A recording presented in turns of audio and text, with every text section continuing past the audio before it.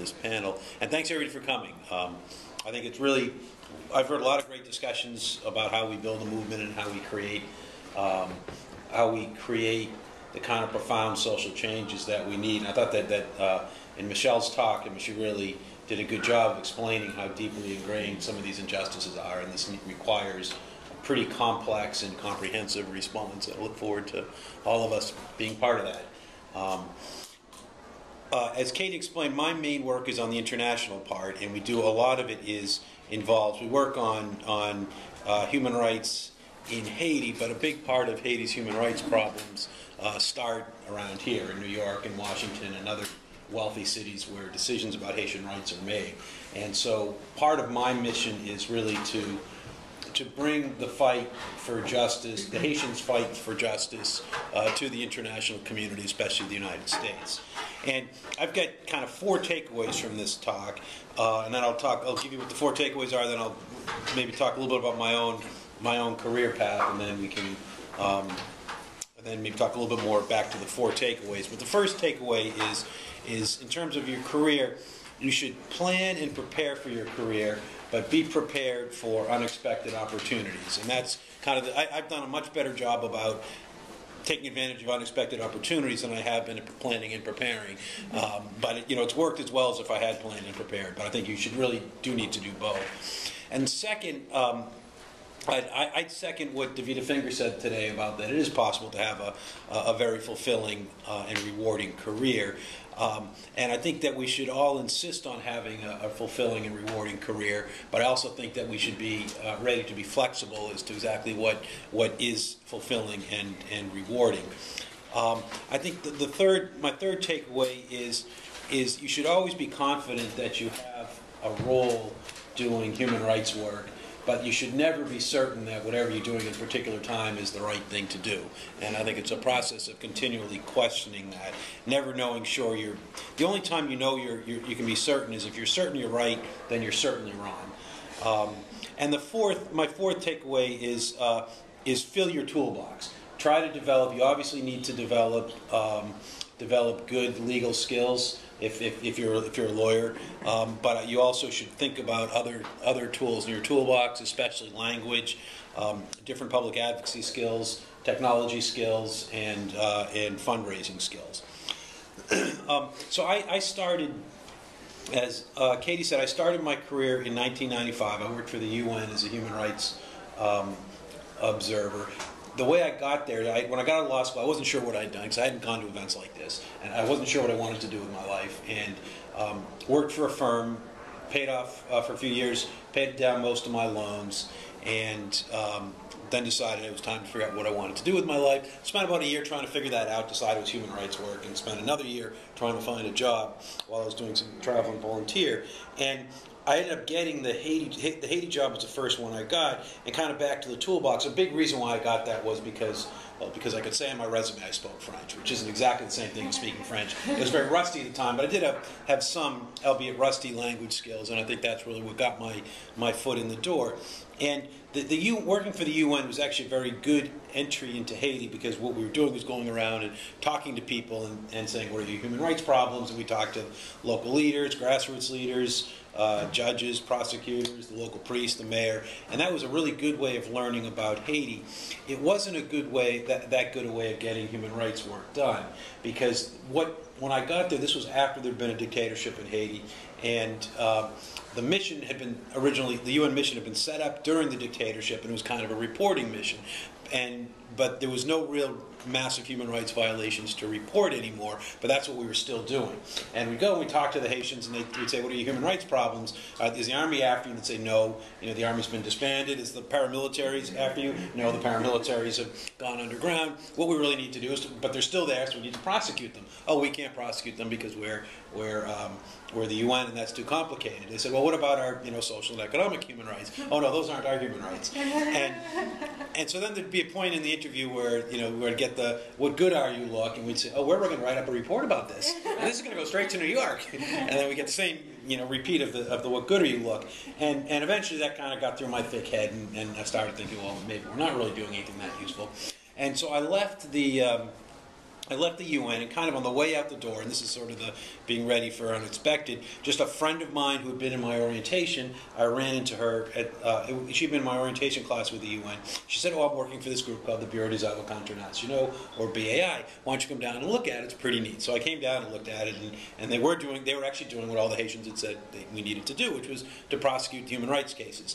And so I, I was I was on my way back to, to, to Boston, and I went back, and but I kept I kept offering volunteer to volunteer for them. Uh, was you know they had some research projects, and I really started liking that. And finally, uh, after I was back in the states for a couple months, they said, "Well, we really want to do this case called the Raboteau case," and and, and I've been involved in monitoring the Raboteau case when I was working for the UN. We want you to come down and and and, and spearhead it. Uh, and I said, okay, fine. And we mutually agreed that I'd be there for all of June of 1996. And June turned into July, and 1996 turned into 1997. And, and here I am in 2012, still working on, on, that, on that. Um, and it was because I kept, I, if you told me in mid June of 1996 that I would have been there through the end of the year, I would have said you're crazy. Uh, but in Haiti, there was a combination of at first we thought we were going to get the case done in three months, and that was about um, 20. It was about four years too too ambitious. Um, but in Haiti, there was always some opportunity to to really do good things, and we didn't always take advantage. We didn't always realize those opportunities, but we we did enough. And that Raboteau case, when eventually went to trial in 2000, um, is by far the best complex prosecution in Haiti's history. We, we were able to to to uh, to convict the top. There's one here. This one, Chair. And what about with the bag on This it? bag is mine. Yes, it is. To left, I don't know. Yes. Sorry. Okay. Um, and we were able to prosecute the top military and paramilitary officials, including getting three generals deported from the U.S., including the highest ranked military officer ever deported from the U.S. We got about $400,000 for our clients from one of the generals who had actually won the Florida lottery. Um, and we were able to, through our work and through lots of other people working to make the justice system work for poor people, we were actually able to make quite a bit of changes in the eight years I was working at the BAI. Uh, but those changes were mostly um, were mostly eliminated or, or sharply pushed back in 2004 when um, our president sent the plane for Haiti's president. It was one of those planes that was used in the in the uh, the rendition of people to get tortured in part of the war against terror. Um, it was diverted from, from those rounds, sent to Guantanamo Bay, filed a false flight plan, forced Haiti's president on it, and went to the Central African Republic. And when that happened, the, the, the nine years of democratic progress, by far the, the largest uh, period of democratic progress in Haiti's history, was, was, uh, was sharply reversed. And it occurred to me that at that time, as an American, um, as much as I liked li- working in Haiti and living in Haiti, my role was not to be uh, in Haiti anymore. My role was to use the lessons that I had learned and the relationships I developed in my nine years of Haiti to come back to really bring the, uh, the, the Haitian fight to justice to our country. Because it was clear that nothing would ever be sustainable in Haiti, no progress would be sustainable in Haiti as long as the U.S. was able to, to uh, reverse it on, on a whim. And um, and so I've been since 2004. We've been we've been we've we founded this organization IJDH, and it was a little bit of a reversal of the of the typical way of doing things. Often you have a, a, a organization in a wealthy country where the money is uh, find, establishes a, an affiliate in the in the poor country. In Haiti, we did it the opposite. We we had the BAI, which is already existing. We founded IJDH as a as an affiliate of BAI, and our purpose was to, to try to take the BAI's fight to the international community, and also to uh, to raise money for for the BAI. Um, in terms of, of kind of what we do on a, on a daily basis, let me do a couple introductions. So Mario Joseph, who, who co-managed uh, the BAI with me for, for eight years and is now the managing attorney of the BAI. Uh, and then Bia, who's a new staff attorney for us at IJDH, and she spent uh, a year at the BAI. Um, and then we have Will Sokra, who's a finissant, which is a, an apprentice lawyer at, at the BAI.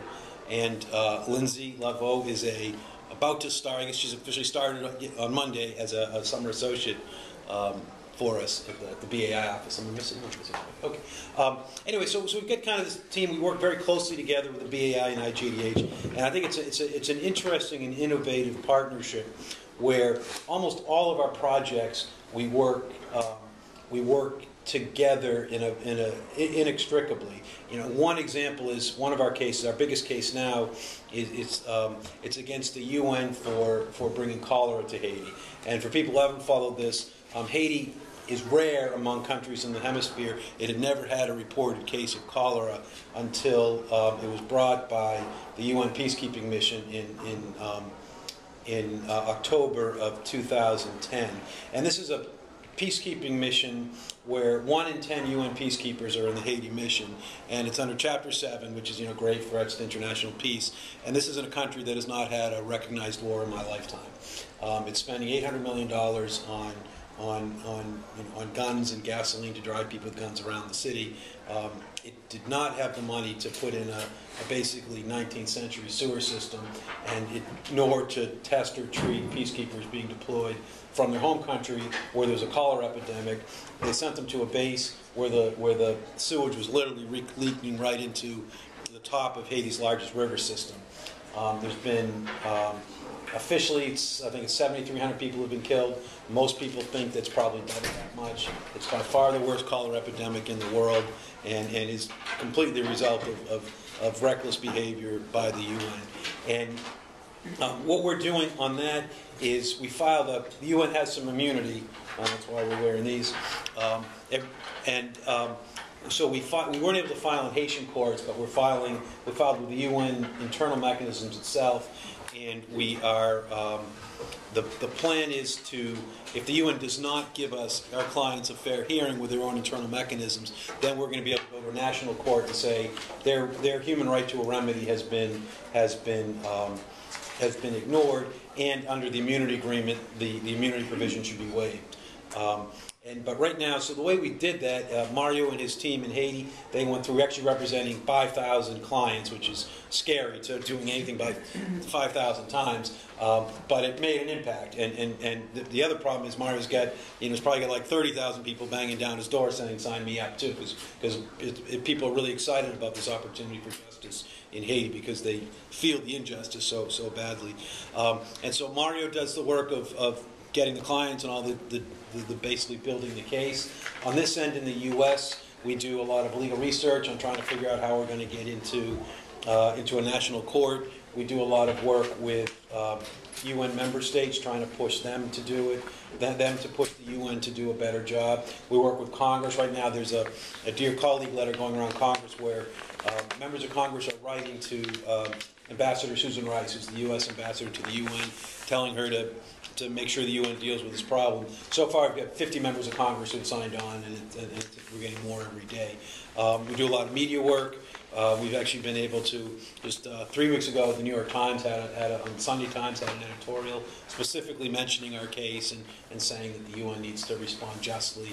Uh, we've been on Al Jazeera, Democracy Now, BBC, Canadian Broadcasting, all the U.S. networks, and we've been able to, through this combined use of, of doing the work in Haiti with the work on the ground in the U.S., um, we've actually been able to make a pretty big splash, and I'm fairly confident that this is actually going to work. What we're asking for is compensation for our clients, um, but even more importantly, um, we're, we're asking for the UN to put in a uh, clean water system for all of Haiti, which is the only way of stopping cholera. Uh, and we, um, we think that, we actually think there's a realistic chance that will happen, and that will save somewhere between, our best calculation is within 10 years after having the water installed, there would be 50 to 70,000 lives. Because not only would that stop cholera, it would also stop um, non-cholera diseases that right now take out about, uh, about 3,000 people, mostly kids, every year.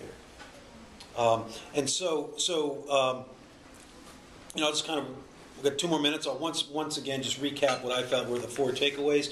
First, plan and prepare for your career, but be prepared for unexpected possibilities. Second, insist on fulfillment, uh, but be flexible about that, what that means. And one of the ways that that's I, I've needed to be flexible is that uh, I love doing human rights work, and I love doing our media work, and um, I love most I love most parts of my job. I never stop working and turn off my computer because I'm tired of working. You know, I often do it because I, I want to sleep or spend time with my family or do, do uh, you know, any of the millions of other nice things life has to offer. But I'm engaged by my, my work on a, on a permanent basis. I'm never bored. Um, but the limitation is there's some aspects of my work that I'm less good at and less interested in. I mean, I do, as, as, as an executive director, I do a decent amount of administration and finance stuff that I don't like. I do a lot of fundraising, some of which I like, some of it I don't. But it's, it is a great comfort when I'm doing, you know, looking at some spreadsheet that I don't like doing, that me looking at that spreadsheet is helping, you know, Mario and Bia and, um, and Lindsay and Sokra have them do great work on the ground for human rights. And so sometimes I think you need to look at the big picture and you might, your particular contribution in any one minute might not be the best, the most interesting thing you could do, but it is part of a, of a, of a bigger, of a bigger machine. Um, the, the third takeaway is is always be confident that you have a role, but never be certain that you are you are doing the right thing. And I've continually had to evaluate my role, and I think that you know I evaluated the UN and decided that my role was not appropriate what I was doing. At the BAI, um, I think it was appropriate, but not as an end result. I mean, there's no reason why uh, U.S. lawyers should be permanently in Haiti. What the U.S. lawyers should do, if you go to a place like Haiti, is help out do two things. One, train people to take your place, and two, learn things so you can bring the fight back to, to your own country. Um, and then with, with IJDH, we're always struggling to figure out what is the, the, the, the ideal relationship of us with poor people's struggles, with Haiti, and with kind of the broader picture of human rights. Um, and the fourth takeaway is just fill your toolbox. I mean, I'm using skills that, that I mean, I've had to, especially as a director, for a while I was the only employee of IJDH, and, and so I had to do a little bit of everything. Um, and but there's lots of things that I've had to develop my skills. There's other things that I skills that I had and didn't think I'd use, and ended up they ended up becoming useful. So I think that you, I just encourage everybody to be flexible and to try to develop um, as many as many skills for your toolbox as you can have. Um, and that's it, other than just to reiterate that you really can find uh, you know, exciting, fulfilling work in, in, in doing human rights, although it's not always easy.